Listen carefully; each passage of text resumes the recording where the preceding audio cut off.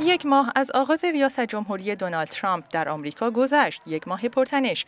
او که با شعار بازگرداندن قدرت و عظمت به آمریکا وارد کاخ سفید شده اجرایی کردن وعده های انتخاباتیش را به سرعت آغاز کرد. اما برای این کار ابتدا به سراغ میراث اوباما رفت. دونالد ترامپ درست در 20 ژانویه یعنی روز ادای سوگند خود فرمان لغو طرح بیمه درمانی باراک اوباما را که 20 میلیون آمریکایی از آن استفاده می‌کردند صادر کرد. آن هم بدون جایگزین کردن یک نظام خدمات درمانی جدید.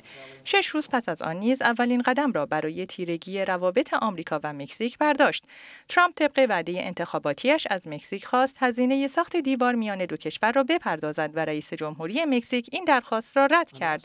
ترامپ نیز در واکنش برنامه دیدار میان دو رئیس جمهور را لغو کرد. او گفت تا زمانی که مکزیک با آمریکا رفتار منصفانه و احترام آمیزی نداشته باشد چنین نشستهایی بی‌ثمر است و من می‌خواهم راه دیگری را برگزینم. ترامپ در هفتمین روز از آغاز ریاست جمهوریش فرمان جنجالی دیگری را امضا کرد. فرمان ممنوعیت ورود اتباع هفت کشور مسلمان از جمله ایران به آمریکا. صدور این فرمان به مدت یک هفته موجی از اعتراضات را به همراه داشت.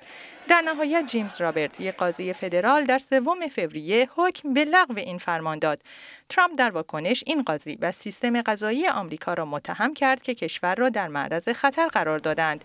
رویداد خبرساز دیگر رسوایی مایکل فلین مشاور امنیت ملی آقای ترامپ بود تماس های فلین با سفیر روسیه در واشنگتن و دادن وعده پنهانی در زمینه کاسان از های روسیه و بهبود روابط با مسکو در نهایت منجر به استعفای او شد.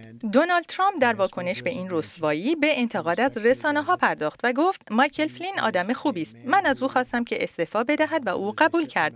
درباره این موضوع اطلاعاتی منتشر شده. این اطلاعات برای مایک پنس معاون رئیس جمهوری نیز فرستاده شد. من از این شیوه اطلاع رسانی راضی نیستم.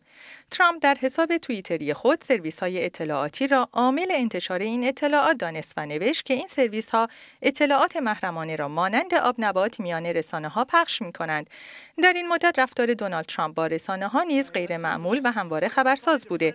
او بارها رسانه ها را دشمن مردم آمریکا خوانده و به انتشار اخبار نادرست متهم کرده است. نشست های خبری او بارها با تنش همراه بوده و بیپروا مقابل عموم مردم به نزاع با خبرنگاران پرداخته است.